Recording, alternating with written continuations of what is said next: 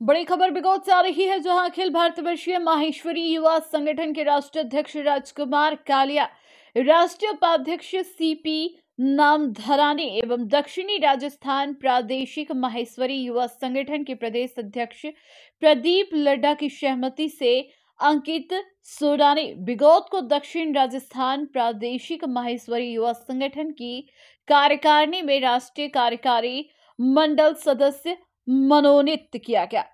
माहेश्वरी समाज जनों एवं इष्ट मित्रों चिर परिचितों बधाई देते हुए उज्जवल भविष्य की कामना की।